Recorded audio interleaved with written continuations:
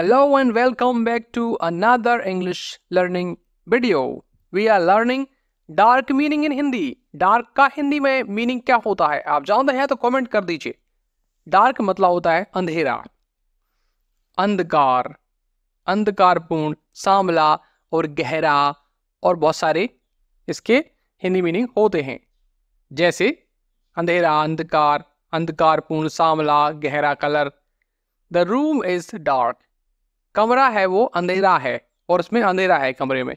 I am afraid of the dark मुझे अंधेरे से डर लगता है। शाम को हम बोलते ना इट इज़ गेटिंग डार्क अंधेरा हो रहा है। तो अंधेरे से आपको डर लगता है? नहीं लगाना चाहिए। यू आर ब्रेव देखने के लिए वीडियो आपका धन्यवाद। Like share subscribe